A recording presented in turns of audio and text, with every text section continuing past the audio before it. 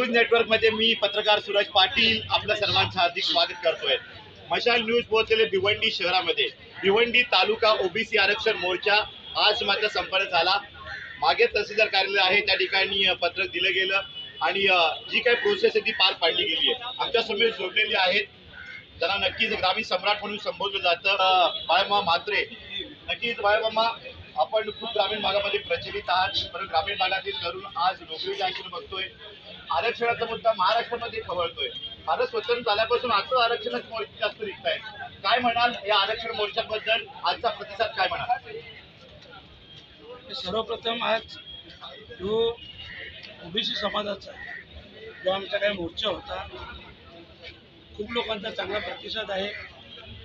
आज आपण पाहत आहात सर्व स्तरावर नोकऱ्यांचा विषय असेल छोटे मोठे उद्योगधंदे असतील सर्वच बाबतीत ओबीसीचं अगोदरच एक तर अडचण निर्माण झालेली आहे.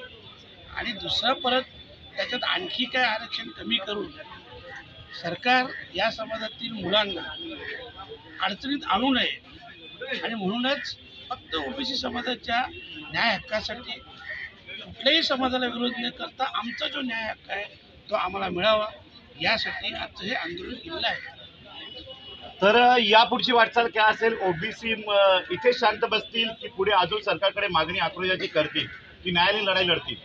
नाही हे सर्व कमिटी आहे ती निर्णय घेईल पण एवढं नक्कीच आहे न्याय हक्कासाठी प्रसंगी लढायची वेळ आली तरी सर्व ओबीसी समाज लढेल एवढं नक्की. आपल्यासमोर जोडले होते माननीय सुरेशजी गोपीनाथ म्हात्रे साहेब म्हणजेच बाळमा म्हात्रे ग्रामीण हृदय सम्राट म्हणून त्यांची ओळख आहे आणि त्यांनी जाहीर पाठिंबा ओबीसी आरक्षण या आंदोलनाला दिले स्वतः ओबीसी म्हणून ते या ठिकाणी आले होते. आणि यापुढच्या संघर्षामध्ये त्यांची सुद्धा साथ असेल ओबीसी संघर्ष समितीला नक्कीच पाठबळ ते देणार आहे. धन्यवाद.